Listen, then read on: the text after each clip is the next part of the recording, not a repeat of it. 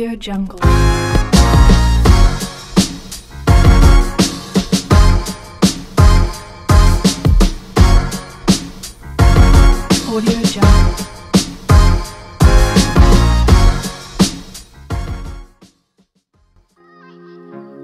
Halo Sobat Depot Mide Apa kabar? Semoga semuanya sehat ya Kali ini saya akan melanjutkan mereview Pink Beach Lombok Ini yang part 2 Saya akan melihat pantai-pantai di sekitar perairan Pink Beach ini. Saya sudah meninggalkan Pink Beach dan akan menuju ke pantai yang lain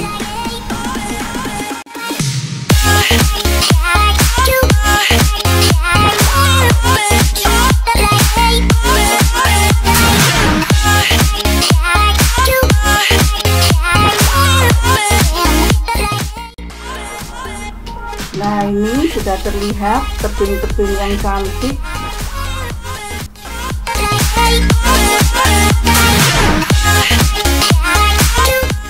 Di sini bisa mengambil gambar, foto-foto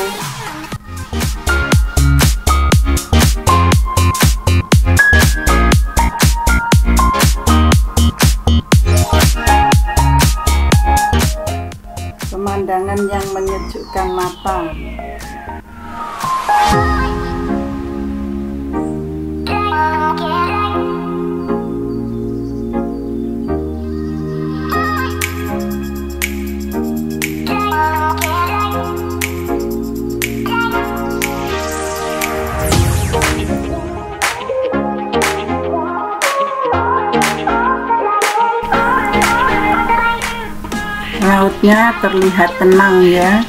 Jadi kapalnya juga tidak terlalu berayun-ayun.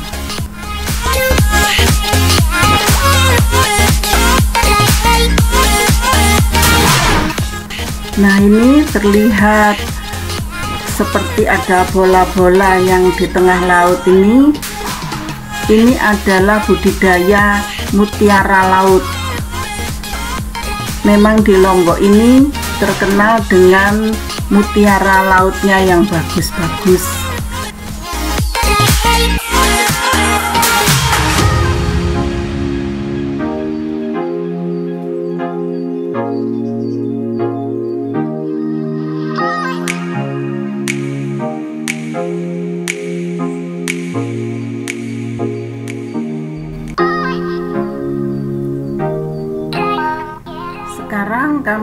hendak menuju ke pantai Segui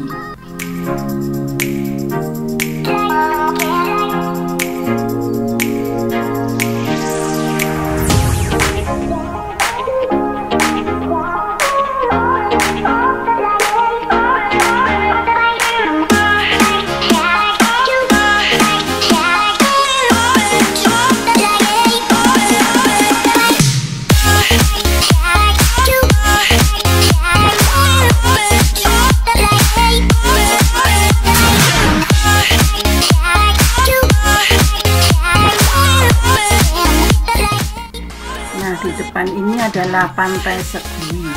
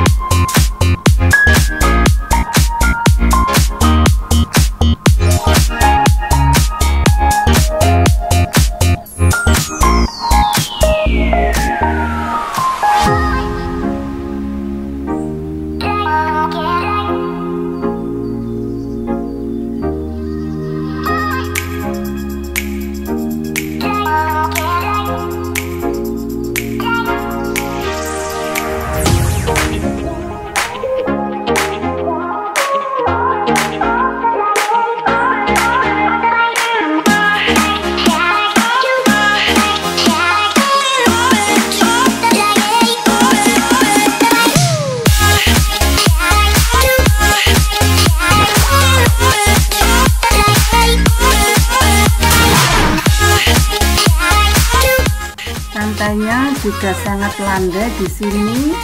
Pasirnya juga bernuansa pink. Bersih sekali.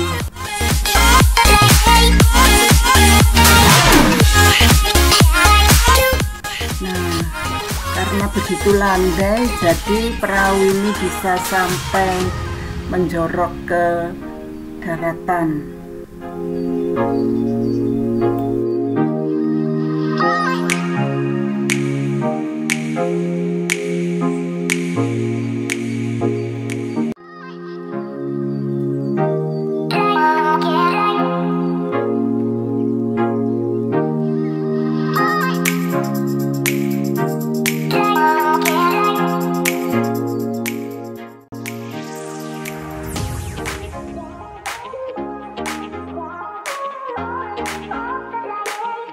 Ini kami melanjutkan aktivitas yang lain.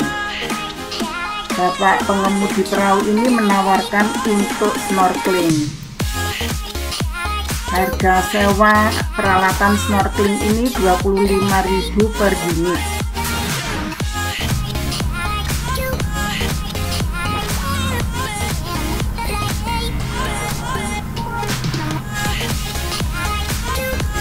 Sekarang kami akan mencari tempat untuk snorkeling di mana ya tempat itu yang banyak ikannya dan terumbu karangnya bagus juga arusnya yang tidak kencang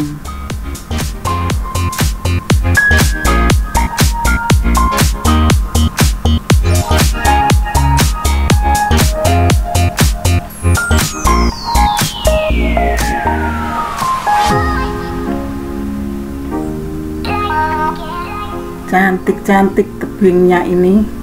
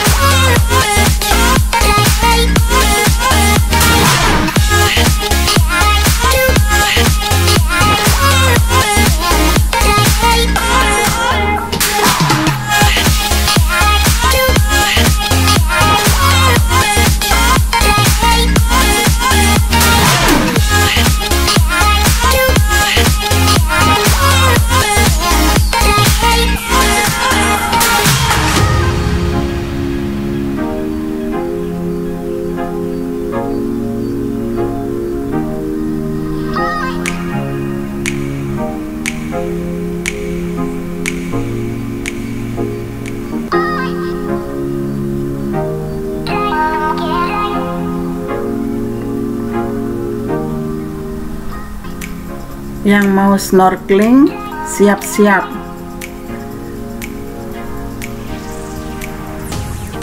Nah alatnya ini sebaiknya punya sendiri ya. Kalau sudah persiapan sebaiknya kita bawa sendiri snorkelingnya supaya lebih bersih. Nah ini setelah diberitahu caranya oleh pengemudi perahu ini ini si bungsu yang mulai turun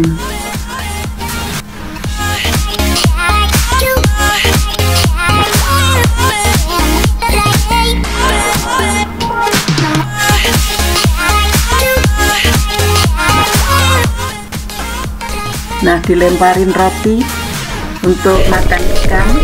Ini tentunya diberikan ke ikan-ikan yang ada di laut.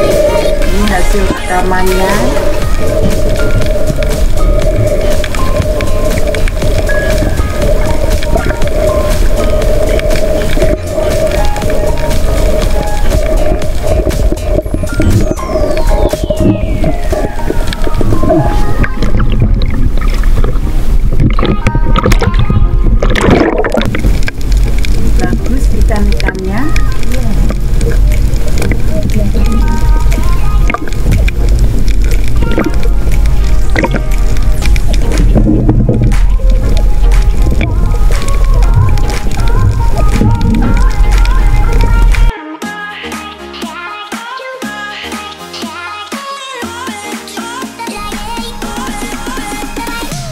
setelah selesai snorkeling, kami menuju ke sebuah pantai, di mana pantai ini sulit untuk dijangkau oleh kendaraan bermotor, seperti mobil atau sepeda motor.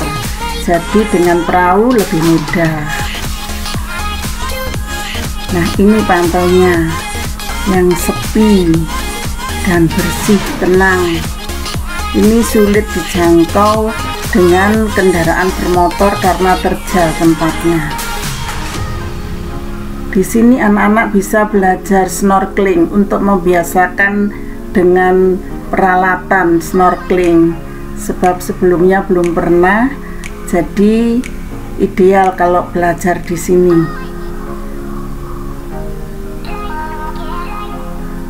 Memang di sini tidak ada ikan atau terumbu karang yang bagus-bagus karena tempatnya juga dangkal tetapi untuk membiasakan diri berenang dan bernafas dengan menggunakan peralatan snorkeling di sini ideal. Sebab kami besok akan ke Gili Trawangan untuk snorkeling di sana. Jadi mau belajar menggunakan peralatan dulu di sini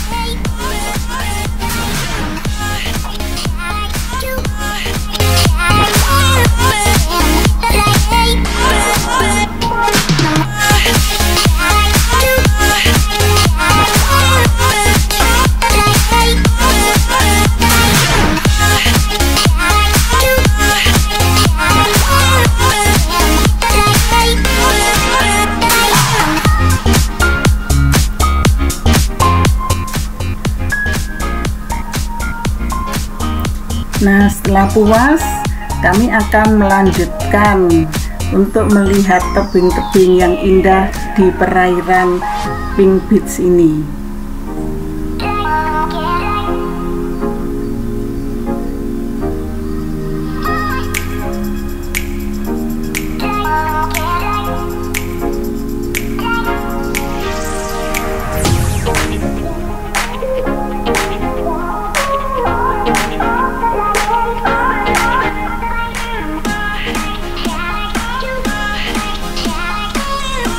Ini karang-karang yang indah yang membentuk pulau yang cantik-cantik.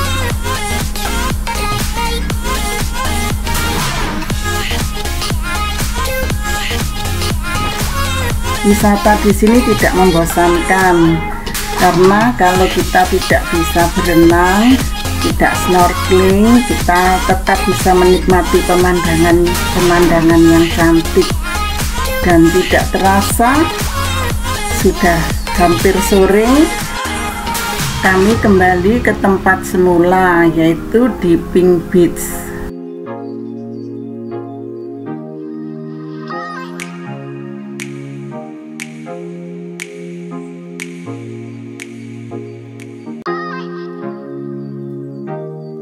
Terima kasih Pak sudah mengantar berlayar ini adalah tempat untuk membersihkan diri dan toiletnya. Jadi di sini semuanya masih sangat alami. Yang jual nasi, warung, apalagi restoran tidak ada. Yang ada adalah penjual minuman dan snack saja. Tetapi pantainya sangat indah dan mengesankan. Sampai di sini review saya tentang Pink Beach. Jangan lupa untuk like, subscribe, dan share ya. Dan juga komennya. Sampai jumpa di video-video yang akan datang. Terima kasih, bye-bye